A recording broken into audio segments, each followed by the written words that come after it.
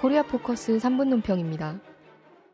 북조국평화통일위원회는 21일 성명을 통해 오는 25일로 예정된 이산가족 상봉을 연기하겠다고 밝혔습니다. 이산가족 상봉 연기 원인에 대해 논평하겠습니다. 첫째, 박근혜 정권은 북과 대화를 해나가는 과정에서도 반복 대결로 일관하고 있습니다. 김관진 국방부 장관이 지난 15일 북한이 국내의 종북 세력과 연계해 4세대 전쟁을 획책하려고 하고 있다라고 한 발언은 대화 상대를 대결 상대로 규정한 것입니다. 정부는 또 차세대 전투기 구입을 비롯해서 무력 증강을 꾀하고 있습니다. 한쪽에서는 개성공단 정상화, 이산가족 상봉이 진행되고 있는데 다른 한쪽에서는 민족과 손잡는 대신 외세와 공조하고 반복 대결을 꾀하는 상황에서 화해 협력의 일정들이 진행된다는 것은 불가능합니다. 둘째, 박근혜 정권은 남측의 통일 진보 운동 세력을 탄압하고 공안 정국으로 몰아가고 있습니다. 공안 당국은 범민련 간부들 구속, 내라는모 사건 조작에 이어 소풍 사건까지 터뜨리며 통일 진보 세력을 압살하고 있습니다.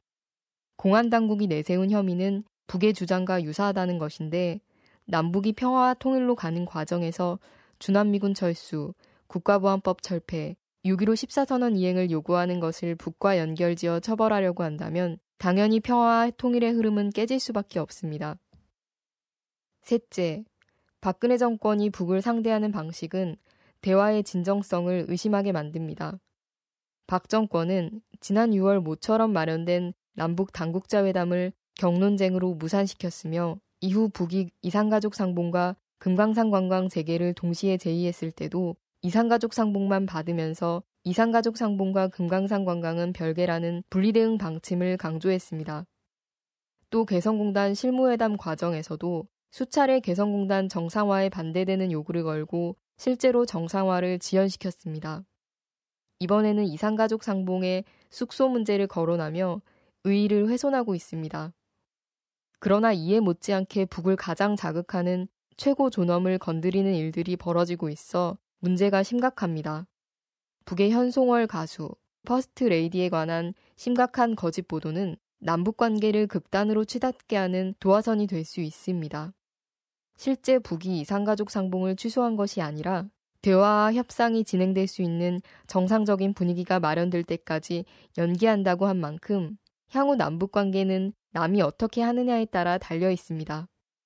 박근혜 정권은 북의 이산가족 상봉 연기에 대해 모든 이산가족들과 국민 가슴에 대못을 박는 반인륜적 행위라고 밝혔는데 누가 민족의 가슴에 대못을 박는 반인륜적 행위를 하고 있는지 자문해봐야 할 것입니다. 코리아 포커스 3분 논평이었습니다.